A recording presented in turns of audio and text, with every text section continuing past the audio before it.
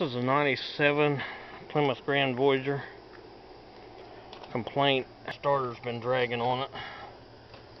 Since this battery is four years old, I would imagine that's probably the problem. It's charging good, even an idle with air, all the accessories turned on. It's not carrying a good static charge.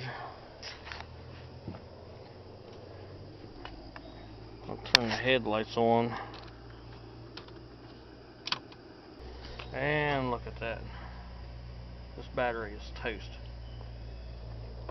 It should be holding well above 12 volts. Let's see what it does.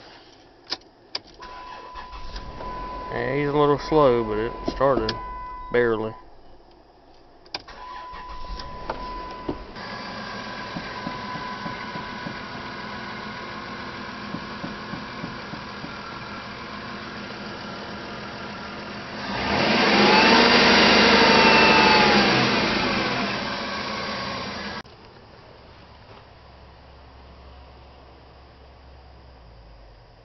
Yeah, it's got a bad cell. So we'll get a battery.